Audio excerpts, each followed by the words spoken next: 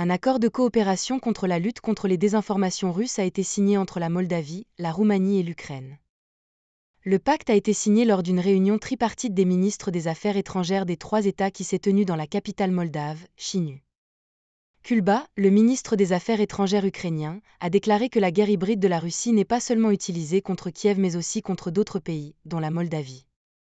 Il y a seulement un mois, le département d'État américain a accusé le Kremlin d'utiliser des mensonges et des manipulations de manière répétée en fabriquant de faux événements pour justifier l'invasion injustifiable de l'Ukraine.